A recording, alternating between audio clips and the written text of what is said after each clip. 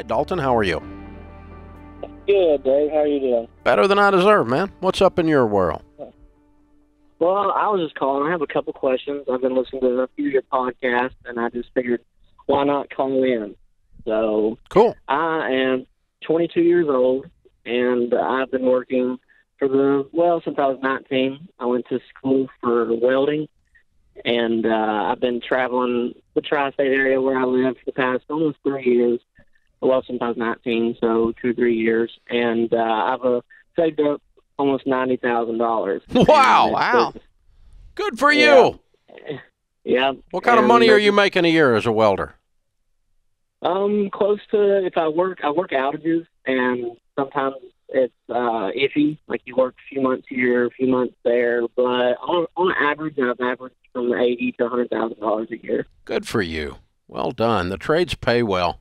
You're working a lot of hours and it's hard work, but you're making good money, Yeah. right? Uh, yes, yeah. Yeah. I mean, when you're when you're on, you're working. That's that's tough work, but uh, and so you're working power stuff, huh? Yeah, nuclear mostly. I've worked in uh, live nuclear plants and building nuclear plants. Okay. Wow. Um, Wow. Yeah, you're you're you're really building a resume there. That's pretty impressive. Good. And you got eighty five thousand dollars. And are you living at home, or are you are you living in a camper? I mean, what are you doing? I recently just bought a camper about a month ago, and before that, I was living with a high school friend that I went to welding school with in his camper, and then before that, I had rented an apartment, which was one of my worst mistakes. But you live and you learn. Yeah, because you're never there. So- exactly. Yeah, Yeah. exactly. And paid a lot more. I could have paid for a camper for what I paid in rent in that apartment. Yeah. So you so you're going to SUV. I mean, as, you're going to Winnebago it around or whatever while you uh, whatever the brand is while you uh, run this circuit for a while at this stage of your life. How long do you think you're going to live that life? Well, that's what I was asking. I was recently um, gave some advice because I was talking to um, a person I knew that has owned owned a business, and they told me, "Well, if you don't want to travel all the time, why don't you buy like a service truck and open your own welding business?" And so I was just going to ask you uh, if you what you thought about that idea, or how much money you think you would have to have saved up to start your own business as a welding business. Enough to buy the supplies Min- and, and the truck. Okay. You can outfit this truck for fifty grand, right? Yes, or less. Yeah. Yeah. Yeah, because you don't want a fancy truck. It's going to be hauling a bunch of junk around. Yeah. Yeah. I mean, it Yeah. is. It's welding equipment. It's your it's your trade, but it's not. right. This is Yeah. not a. You don't need a. You don't need a uh, something from a Chevy commercial. I mean, this is this is a work truck, right? Exactly. And so uh, I love that idea.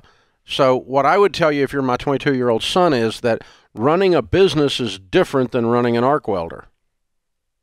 Okay. So you have the skills to be a welder. You do not have the skills yet to run a business. Okay. And much like you had to learn how to weld, you're going to learn how to run a business.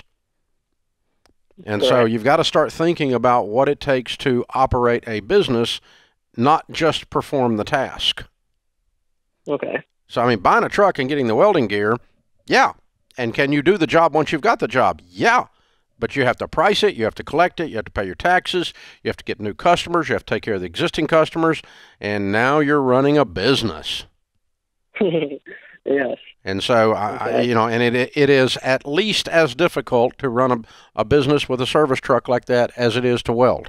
The other thing, Dalton, is, and and don't let that discourage you because the day to day will still be the welding work. Your day to day will still be doing the work you know how to do and you love how to do, but there will be a learning curve where you figure out how are you going to price this? How are you going to manage the money? How are you going to interact with customers, with clients and and and and even points of contact, like the really tactical stuff that you probably don't deal with day to day and you haven't even thought about in terms of your business.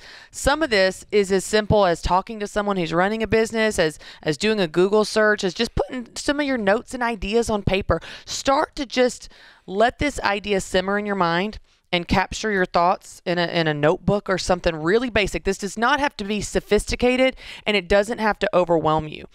Once you get through this learning curve of learning some of the basic business setup and the basic business operations, you will spend the vast majority of your time, 80 to 90% of your time doing the welding work, especially out of the gate because that's that's you know in the initial stages that you just own your job that's what you're doing but you do need to just think about some of these things and and learn some of these things and uh and if you start doing that you could make even more money doing this I want you to find a 35 year old guy that's running a truck and doing welding and making a good living. And I want you to go take a day or two, or next time you've got some downtime, I want you to go spend three days with him. Take your camper, Okay. take your camper, go hang out in that city where he could be two cities over, five cities over. I don't care. Maybe he's over at Dallas. You're you, mobile. You run over there Okay. from you run over there from Atlanta. Spend two or three days with him, and I want you to go to school, not on welding, on running a business. Okay. On business. How do Alright, how do you run a business? What did you not know? What do I need to know? How do you do your pricing? Where do your customers come from? And I want you to take like some yellow pads or a- an iPad or something. I want you to fill up files and files and files and files of the answers of an actual practitioner in that world. And so, Okay. you know, when you first learned to weld, they showed you that someone showed you by welding. You watched them weld, right? Yes, you're exactly your right. very first class, and then you tried it, and then they helped you by letting you watch the. Then you watched it again, and then you tried it again until finally that thing would quit sticking and it would actually create an arc, right? Exactly. And um, so, uh, well, maybe you're doing acetylene, I don't know, but um, but anyway, Yeah, point the meta the metaphor still stands. So uh, yes. No. Yeah, you go study. You go study someone else, and then you do it, and then you study someone else, and then you do it, and then you study someone else, and and your first step is to get the business up and running, and then your next step is to grow the business to where it's not to where you own more than just your job. Your first goal in business is at least own your own job. And when you, if you don't work, if you don't go to work, you don't get paid. That's owning your own job, right? But if you got five people working for you welding and six trucks out there, uh, now you own a business that if you don't work one day, they all still work. And that's that's growing it to the next level. But I don't want to go too fast here. You're 22. You got plenty of time. Yes, I would buy a service truck, and yes, I would go into business if you have that desire. But go study business from a couple people. I'm going to give give you a copy of our number one best-selling book, uh, EntreLeadership, which is how we, it's our playbook on how we started this business and how we ran it and run it, and it'll give you some good guidelines on how to get there. Dalton, I want to give you a couple questions too to ask these people that you're going to study and shadow and learn from. One, ask them what did you learn the hard way. hmm Another uh, another way to ask it is um, what did you wish you knew when you got started. And another thing to ask them are what are the biggest trip ups I should look out for, like customers or problems or things that man that that just you know might might be a potential landmine that you don't even know. How can you learn about that before you get into it? Ask some of those questions to get some of those learnings without you having to learn the hard way yourself, and and they'll tell you, uh, they'll they'll they'll show you, and you can you can avoid that going out you know out of the gate. I love that. What a great young guy. Mm-hmm. That's cool. We've talked to a Making couple, couple money. of 22 year olds in the last couple of hours that are doing pretty impressive stuff. Yeah. So there's hope, America. there's hope. The next generation coming on. There's some good ones in the bunch.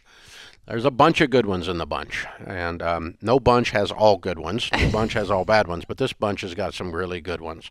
That's pretty cool. And the trades, uh, well, with this uh, epic student loan debacle Yeah. that we have uh, in higher education, the trades are coming back on with a gale force winds. Everybody's moving into the trades. I mean, when you can, with a high school education at 22, for the last four years, while his friends were in college making nothing, he's made $100,000 a year. He's doing okay. He's 400 grand ahead before they got started. Mm, very interesting.